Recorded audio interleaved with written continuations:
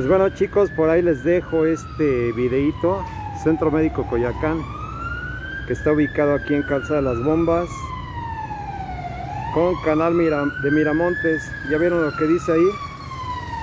Especialidades, no coronavirus. O sea que aquí no atienden a gente con COVID. Donde sí la atienden es de aquel lado. ¿Ya vieron? Pero aquel hospital es público. Es la